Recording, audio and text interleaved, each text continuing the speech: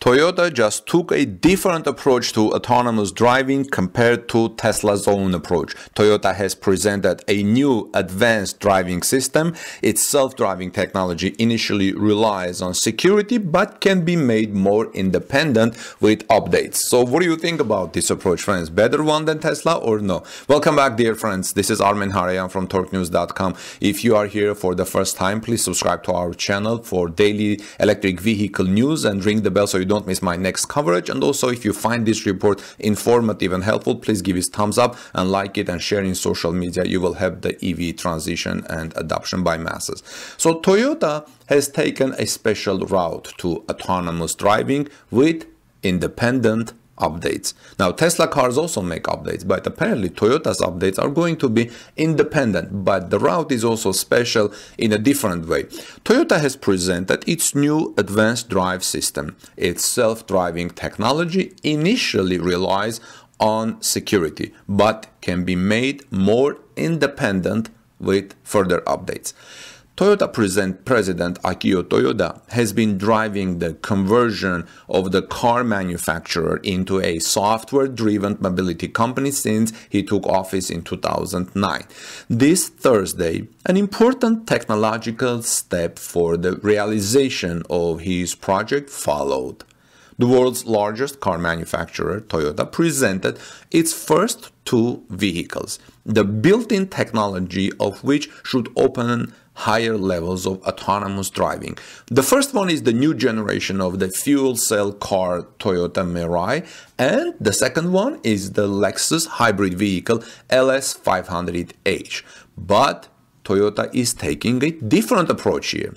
While many manufacturers want to offer hands-free driving on level 3 of the 5-level scale for full automatic robotic cars this year, Toyota drivers still have to lend a hand in some situations on the motorway. This corresponds to the second stage, in which the driver has to keep an eye on the traffic at all times. Toyota's principle is automation with a human touch, said head of technology Masahiko Maeda in an online briefing on Thursday, explaining the idea for the new advanced drive system in his teammate concept.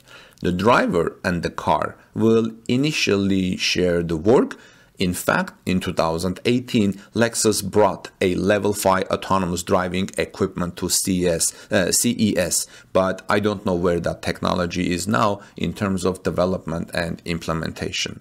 Friends, on the highway, the two premium cars from the highly profitable mass manufacturer Toyota drive alone in one lane. Even if vehicles cut in front of the car, the system generally remains calm. But if the vehicle wants to change lanes, it asks the driver to put their hands on the wheel to be on the safe side and monitor the maneuver. Now, the car learns over time. The technology isn't standard installed.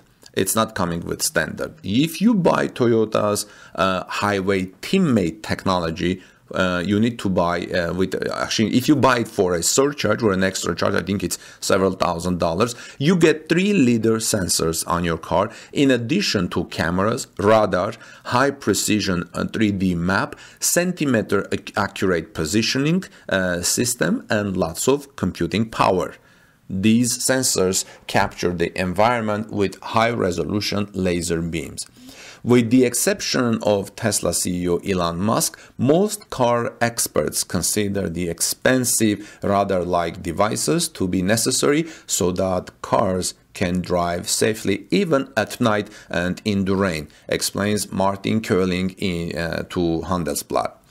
In addition, Toyota explains that the autonomous vehicles that have the highway teammate technology will in future be able to drive more independently than Toyota has allowed them to date. For example, the software can be updated online, just like with a smartphone, in order to give the car more autonomy, among other things. Toyota often um, even offers buyers hardware updates. A company spokeswoman said the LiDAR sensors in the front and on the sides could be upgraded, for example. Toyota digital boss James Kuffner, who was involved in the development of Google's self-driving cars, says these cars have the great potential to provide our customers with a lifetime of value. Their goal is that Toyota should develop the most programmable car in the world.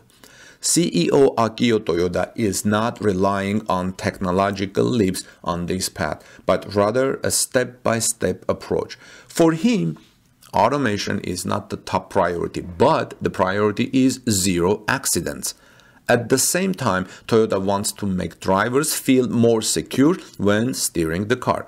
If you remember in 2019, Toyota tapped Subaru for its EyeSight driver assist system that has been proven to reduce accidents. Subaru has a goal to prevent traffic accidents and they are aiming for zero accidents by automobiles in the future. You can find more about uh, Subaru's EyeSight driver assist system in torquenews.com under Subaru by just searching the Subaru EyeSight driver assist. Now, for example, back to the Toyota thing. If when overtaking trucks, vehicles keep a little more distance, just like most human drivers do another aspect for the head of technology at Woven Planet, uh, Planet Kei Koibuchi is the joy of driving.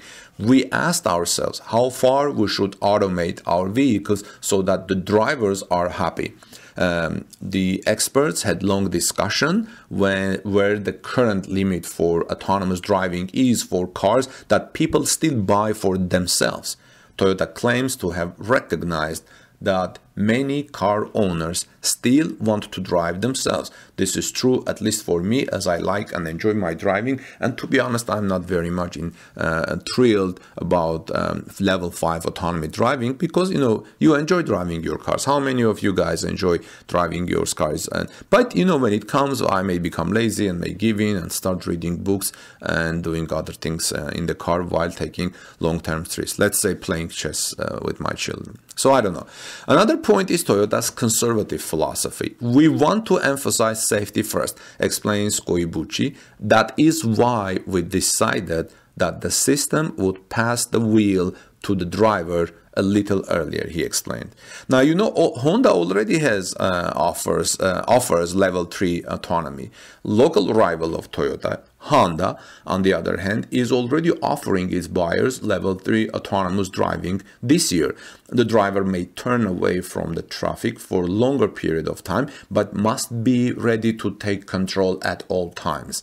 In 2017, Honda had made a commitment to achieve level 4 autonomous driving within 8 model years. So that was in 2017. We're talking about maybe 2025 reaching um, uh, autonomy uh, in uh, uh, level 4 autonomy. So for the time being, however, only residents of Japan will be able to try out whether Toyota's strategy that I just told about uh, of taking small steps works or whether big promises of a lot of autonomy in the market are more convincing, writes Kölling in Handelsblatt.